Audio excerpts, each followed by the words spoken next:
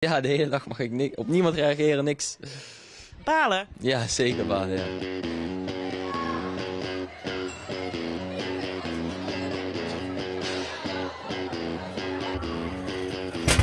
Wij hebben sinds vier jaar het verbod op mobi- mobiele telefoons.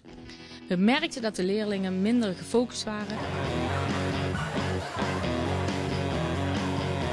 Kan zeg maar wel in de les beter opletten. Dus je haalt het maximale uit de les. Wij hebben ook heel veel lesstof in onze boeken eigenlijk. Dus eh, ja, ik denk niet dat we echt onze telefoon in de les nodig hebben.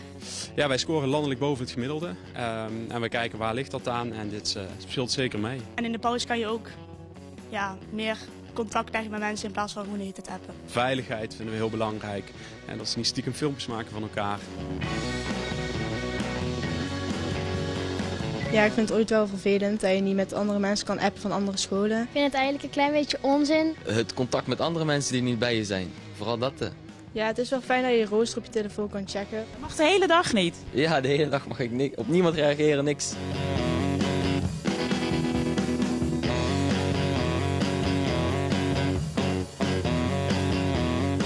Een beetje TikTokken zo nu en dan tijdens een saaie les moet toch wel kunnen. Ja, vind ik van wel. Ja. Bedankt voor het kijken naar deze video. En wil je meer van dit soort video's zien? Download dan onze app of kijk op onze website rtlnieuws.nl.